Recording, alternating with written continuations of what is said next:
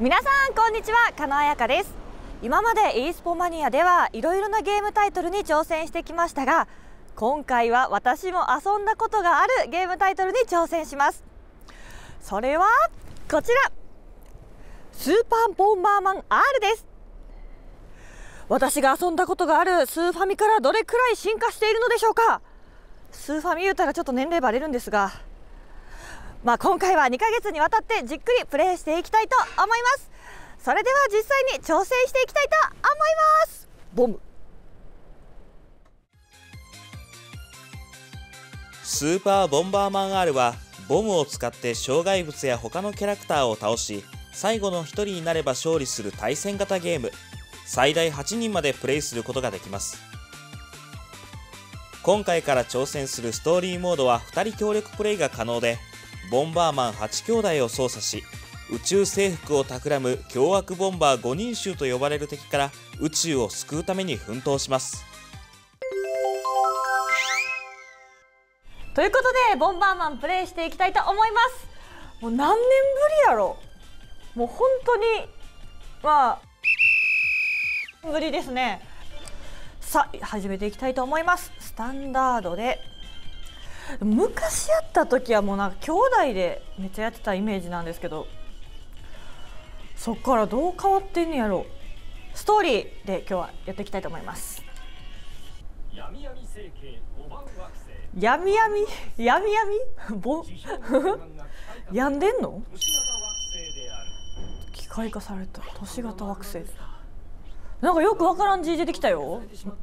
何語？これ英語じゃないよね？ロシア語でもないこの星の住人たちを救出するのが第一だ。こんなストーリーやったんや。すごい正義感溢れてるなボンバーマン。では早速やっていきたいと思います。セットアップすべての敵を倒す。任せろ。あキャラも選べるんですね。これが主人公さっき正義感溢れてた白ボン。じゃあちょっとあのこのキラキラ水ボンにしようかな。水ボンちょっと後ろにリボンついてるじゃないですか。見てください。私も今日後ろにリボンついてるんです。お揃いですね。水色やしお揃いでいきたいと思います。キラキラ水ボン私の出番ですか？私の出番ですよ。行ってみたいと思います。この中にねアイテムが隠されたりとかしてるんですよね。そういうのは覚えてますよ。さこれザコっていう読んでいいんですか？ザコっていうキャラクターめっちゃ可愛いですね。なんか玉ねぎみたいこんなゆるキャラみたいなキャラクターなんですね。当たったら私はやられちゃうんですよね。おおあ炎出てきたよ炎。炎炎欲しい。けど敵がいっぱいいるどうしよう行かれへん。行かれへんけどもででもこれあー当たる当たる。あー怖い怖い。当たったらあかんけどでこれあ触りたい触りたい。であああああいけるあ二ついっぺんに行きましたよ。二ついっぺんに雑魚を倒して。これはあ火の長さ足りました。あと一匹。あらこれちょっと私いい感じなんじゃないですか？はい雑魚！アイテムは出てこなかったので上がりたいと思います。さあどんどん倒していきたいと思います。スイッチをすべて押すとゴールがオープンします。雑魚を倒す必要はありません。隠れているスイッチもあるかも。スイッチを押すんですね。スイッチって何？どんなスイッチがあるんやろ？あ難しい難しい。おお火力強いままですね。一回いったら火力強いんですね。他人を許さないボム見に行こうね。これでどう 調子乗っ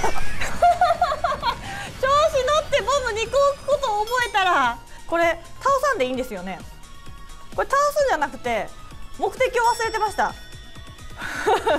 スイッチを押すのを忘れてた。これねあスイッチ押せました。これだけで押せてるんですね。全て倒さなあかんと思ってた。無駄に無駄にやられてた。ああもう敵敵おらへん。敵おらへん。無駄にやられてた。すぐに自分の目的を忘れてしまう。ここは何？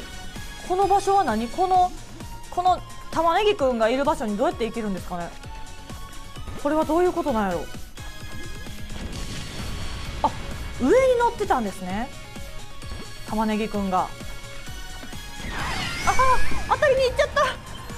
もうあと1しかないどうしよう。同時に無理か。めっちゃ消えるようになりましたねあのあれが。箱が。おおいい感じになってきましたよ。もうでもあの自分でも火力が強すぎてああどうしよう。なくなった。あまだいけるんですか？最後の望み。